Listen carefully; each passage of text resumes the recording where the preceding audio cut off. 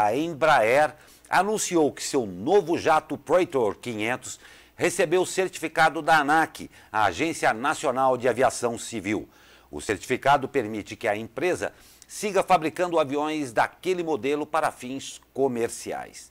A Embraer trata a aeronave como revolucionária e diz que o jato médio é o mais veloz e de maior alcance, sendo capaz de partir de São Paulo para qualquer cidade da América do Sul e ir à Europa ou os Estados Unidos com um único reabastecimento.